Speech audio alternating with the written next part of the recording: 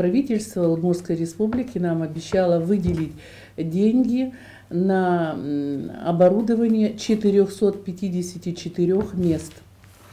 То есть каждое место дополнительное примерно стоит нам 15 тысяч рублей. Вот эти деньги нам где-то в пределах 6 миллионов выделены будут в 2017 году.